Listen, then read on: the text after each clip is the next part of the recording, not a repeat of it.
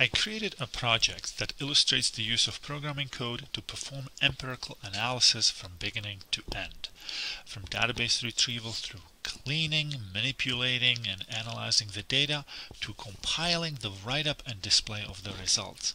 I use the TIER protocol, a replication documentation template. The tier protocol consists of four folders. An original data folder, which in my case has two original data files, and a metadata file that describes where that original data came from.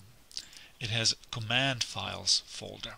In my case, that folder has four stata do files. It has analysis data folder, which is a container for temporary data files generated during the analysis.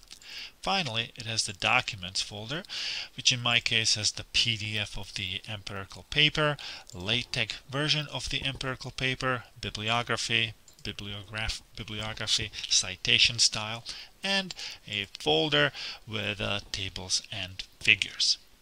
So, how does one uh, replicate my empirical analysis? One way is to execute the stata files in the correct order. That order is specified in the README file in the root directory. Stata programs start with the original data. They manipulate, clean it, merge it, then uh, they analyze the data. They generate tables and figures. Importantly, I ask Stata to output any tables and figures into an external file. I put that file into the tables and figures folder inside the documents folder.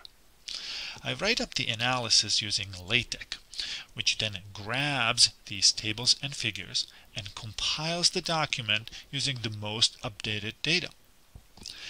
This is a very efficient way of connecting Stata results to the write-up of the analysis. It obviates the need for any manual cutting and pasting of empirical results. However, I can automate the process even further using batch files. Batch files is essentially a list of programs that we want the computer to run. Here I want the computer to execute my four Stata programs in this specific order.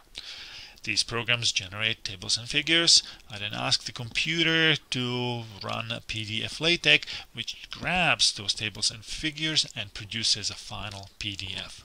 Seeing all this happen live is quite satisfying, so here you go. I run get and clean.